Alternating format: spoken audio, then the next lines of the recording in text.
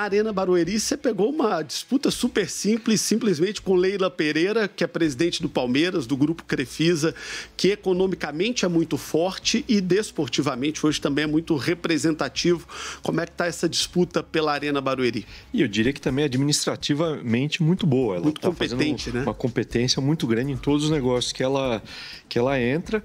É, a gente entende que está uma disputa uh, jurídica, quer dizer, uma licitação o, houve, já aconteceram alguns passos, os nossos advogados não concordam com algumas decisões que foram tomadas no processo, estamos dando aí a, a sequência ao, a, aos encaminhamentos jurídicos e legais para essa licitação. Para nós é importante ter uma base em São Paulo, dentro da nossa estratégia a gente precisa ter uma base em São Paulo, uma base no Rio, uma base em Brasília, para poder, inclusive em shows e eventos, garantir uh, as três praças, que são as três praças mais importantes do Brasil em termos de, de renda. Ou né? seja, o que você está dizendo é que quando se contactar um artista, vamos dar um exemplo aqui, Paul McCartney, é, disser para ele, olha, vem para fazer uma turnê, estamos oferecendo um grande estádio em Brasília, um grande estádio no Rio, um grande estádio em São Paulo.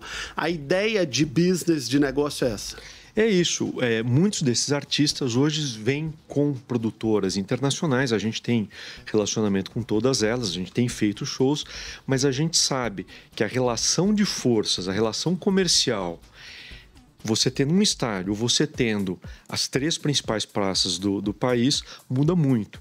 E, e hoje as produtoras é, judiam da gente. Eu posso falar, são todos amigos nossos, mas na negociação eles nos apertam muito, porque nós só temos Brasília. Ao termos mais praças, a gente consegue equilibrar um pouco mais o, o, o jogo nesses shows internacionais.